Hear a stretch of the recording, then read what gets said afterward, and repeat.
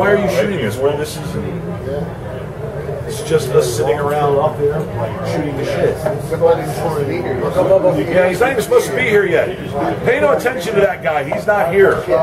Not here. Paid actor. I'm not here either. Don't worry. No, I'm not here. Me neither. We're not His here. publicist. I would never be here. You would never see me here. He's not into jazz. I was going to see him here, but then I heard him see, and then that was worse. Oh,